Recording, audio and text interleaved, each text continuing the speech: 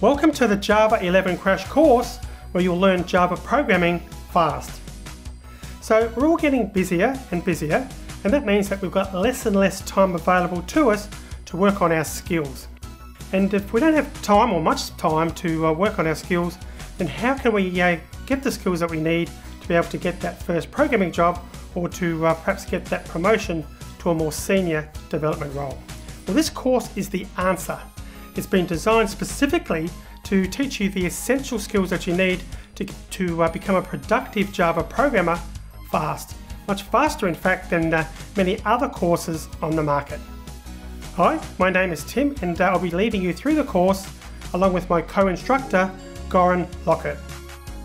So I've been a professional software developer now for over 35 years, and uh, Goran's been one for over 10 years, so between us we've got a lot of experience with Java. I've been programming in Java for 18 years and uh, Goran has, uh, or is, Oracle Java certified. So the bottom line is we both know software development in Java and importantly how to pass on these skills to you in an easy to understand way, way I should say.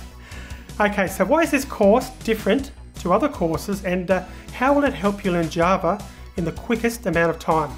Well firstly, all programming languages have obscure commands that get rarely used. So this course is focusing on teaching you the essential Java skills you need to become productive in the, the uh, language in a fun and relaxed way that's designed to ensure you retain the knowledge that you learn. Secondly, we use a combination of small snippets of code and then larger completed projects that you get to work on and edit and improve and as a result you get to learn how to program working with real projects just like a professional programmer would uh, be doing. So the end result of all this is you become skilled in the Java language quicker than you normally would. Alright, so we'll be focusing on and using Java 11 in this course, and that's because Oracle have announced recently that it's the LTS or long-term support version of Java that they'll be supporting now for many years. But if you're using an older version of Java, or even a new one, then uh, you'll still be able to follow along with this course with no problems everything will work just fine. By the end of the course, you'll have a deep understanding of Java 11. In addition, you'll learn how to debug code and how to refactor code and how to ensure that your programs adhere to Oracle's Java conventions and also how to think like a programmer. And if any of those terms make no sense to you right now, they will by the end of this course.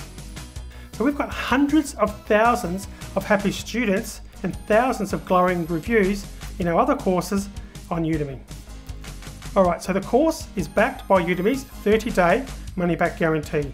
So if you try the course and uh, find it's not for you, then you can return it without any hassle. Alright, so the ideal student is someone who uh, wants to learn how to program in Java.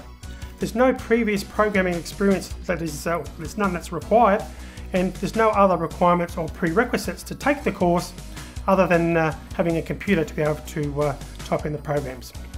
So if you're ready now to uh, begin your Java journey and get instant access to all the on-demand videos, then uh, sign up today. And uh, as I said, you can begin instantly and uh, I look forward to helping you learn Java.